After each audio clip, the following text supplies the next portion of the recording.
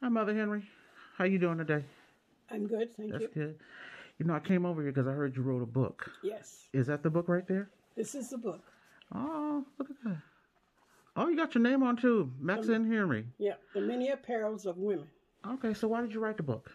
I wrote this book because I was concerned about the image that many women have about themselves and the insecurities that uh, they carry, thinking that we cannot produce and do what we're capable of. Really, like for instance, give me an example. Well, for instance, women that have great abilities, great intellect, and if you speak to one who's home taking care of the children right now and they're not in the workforce, they'll say things like, Oh, well, I'm just a housewife. Well, I'm encouraging everyone to be the best that you can be of whatever you are. The best housewife in this world is as good as the best lawyer. Uh-huh. And that's what I want us to feel that the value of who we are, wherever we are, whenever. Oh wow. So that seems like a. How many pages are on there? 98, this is a 98 page book, nice reading size, uh, and nice print size, but it covers 10 specific areas that were given to me when I, I did a conference for Oh. women. And I did one a year for 10 years. And after I closed that, I was still writing, still keeping notes, and still studying about women of the Bible in comparison to us today, because I'm from a family of evangelists. Okay. And so after I closed that to take care of my husband, I decided that I'm going to keep notes on these things that we're capable of that we may not be doing because we have been hampered by the thoughts of those around us. Oh. So I kept my notes, and before my husband passed, he said to me, "Ri- I said, I'm going to write a book, I think. He says, Write the book. And so two years later, I wrote the book. Okay. When did you write it? What year? Uh, this book was published uh, November of 15, 2015. Oh wow, so it's been around for a while. It's been around a few years. Would you say this book covers every year, even like a year that we've just gotten through? Yes, it does. It was a pre. It was a pre-rep of what happens now. I mean, things that are going on right now. Because when I did this, I was going on a focus on a vision that was given to me, saying, "Okay, we're beautiful from the inside out, not just on the outside. What we look like. The beauty is on the inside. We wear many hats, and we must recognize them ourselves first and display them. And we see it happening more and more, but not enough." So, like I was saying, the the topic of it just says that the women go through and have been through a lot, but yet they're the ones that multitask everything. They, uh, for instance, they have to be the mother and the father. There can be five things in an hour. so, when you were coming up, um, what did you see like your mother do? What did she have to do, or did you come from a I came from whole family?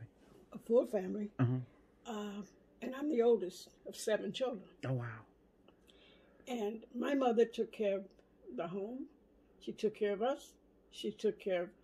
Um, she wasn't an outside worker. Uh-huh. Uh, My dad did that, but she took care of the home. She took care of the children. She helped kids in the neighborhood. She helped my father in the ministry. She was there for everyone who needed her. She was a mother to many outside us. But she never um, probably wanted to go past that because maybe she thought she couldn't. Mm. Or she didn't have the time to do it or to give to anything else. She, she- her job, her duty, and she was one of the best, was there at home. So she doesn't have to be uh, an engineer. Her engineering was where she was. And then we have to be happy and glad with that and do it, but do it to the best of our ability without in, intimidations. Would you say women have had to wear more hats from when you were coming up to now? Yes. Like, for instance, I think now, because of the changes and the progression in um, society, there are more opportunities. There are more things. We're better educated. We can, but we can do what we need to do today. In this time, women are paid twenty three percent less than men for the same job. still. Still, So, still. Therefore, we must be encouraged to progress and endure and reach for the stars. Stop putting limitations on what we can do But the, but the but society has not received us for that as yet. Wow. So, all the way from fighting for equal rights Equal to rights. voting rights, there doesn't seem to be too much. Would you say there hasn't been that much change from then to we, now? These things have been visited. Mhm. Uh, they've been said to be changes. However, today we face the same thing. We have no time to stop. We must be progressive in what we do, stand for what we believe, hold our integrity, and fight for a greater destiny than we have now. So, would you say that the country voting for its first minority vice president female is a, a big step, or is it still a lot more to do?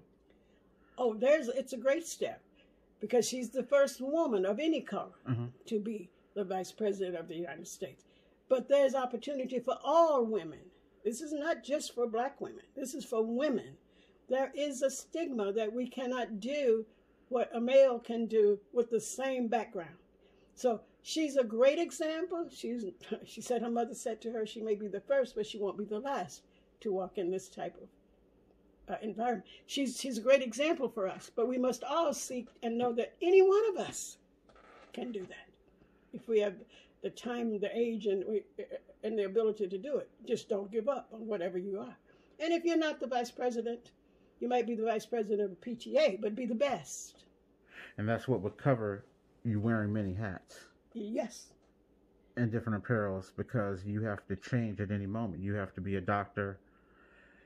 yes, You have to be a lawyer in some regards. You have to be everything, especially if you're, you know, a single mother Yeah. with many kids. yes. Uh, any any mother, Yeah. any person. You may not even be a mother. Uh, you may not be a natural mother. Mm-hmm. but you could be a mother to the children in your community. Oh, You may be a parent to someone who didn't have a parent. oh, So your duties are the same, whoever you are. Your name is woman. And woman has to wear many, women wear many hats. And women are designed to do that. We're able to do that.